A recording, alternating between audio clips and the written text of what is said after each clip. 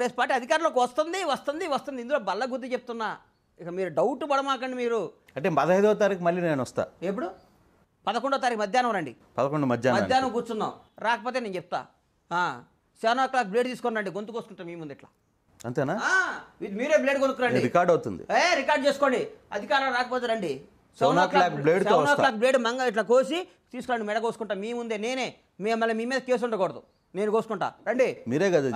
ఇది రికార్డెడ్ మళ్ళీ. రికార్డెడ్ ఇది మళ్ళీ చేసుకోండి. ఇది ప్రోమోలో కూడా ఇస్తాను. వేసుకోండి. సెవెన్ పదకొండో తారీఖు మధ్యాహ్నం రండి.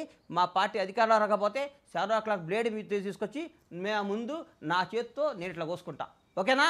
డిసైడ్ ఇది. డిసైడెడ్ గుడ్ అంటే ఇదే మాట మీద ఉండాలి. పదకొండో తారీఖు మధ్యాహ్నం మళ్ళీ నేను ఇంటి దగ్గర ఉంటా. చెప్తున్నా కదన్నా. అదే అదే రికార్డులో కూడా అయింది కదా. రికార్డ్ చేసుకోండి.